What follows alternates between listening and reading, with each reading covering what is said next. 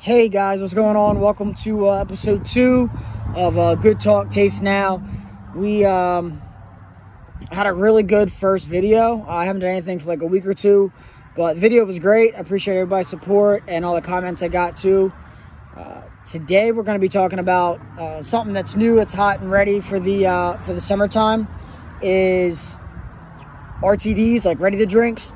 So everybody's doing canned cocktails, pre-made cocktails, just ready to go.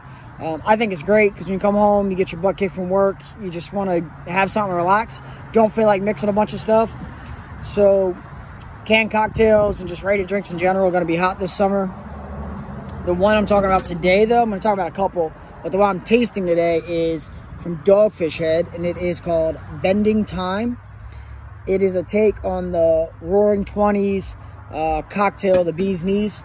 So it's made with, it's gin based. It's gin, chamomile, honey, and a little bit of lemon juice.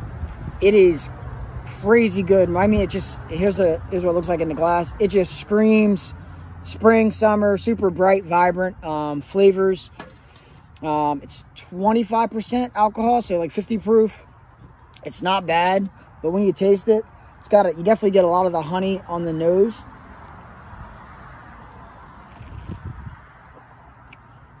And then taste wise, you definitely get like the sweet little bit of even kind of sourness from the lemon juice, but you get that chamomile and the gin. All the botanicals kind of really go well together. Uh, super refreshing. Um, it's not in full distribution though.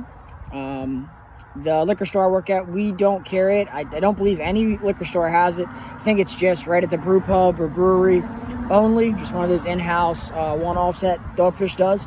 It was like 30 bucks, but um, really good to kind of pick up. But the other ones I want to talk about are their can cocktails that they are doing that have just been going crazy lately.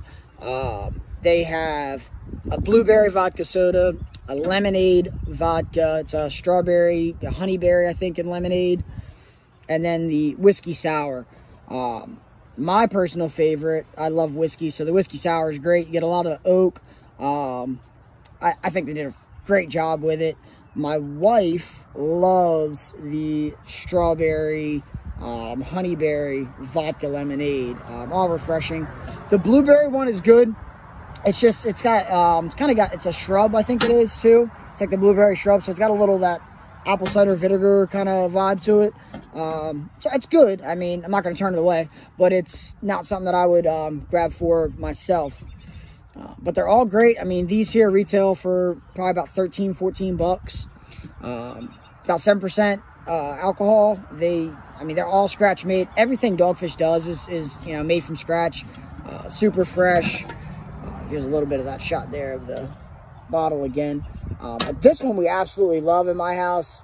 I mean, we, we've been drinking it uh, starting last night. We, we started digging into it a little bit. I think it's going to be one I'm going to have to grab another bottle of and enjoy during the hot summer months. But uh, yeah, well, I appreciate everybody's support. And anybody has any questions or want to see wants to see another review on any certain products, just uh, let me know. And I appreciate you guys listening. Thanks.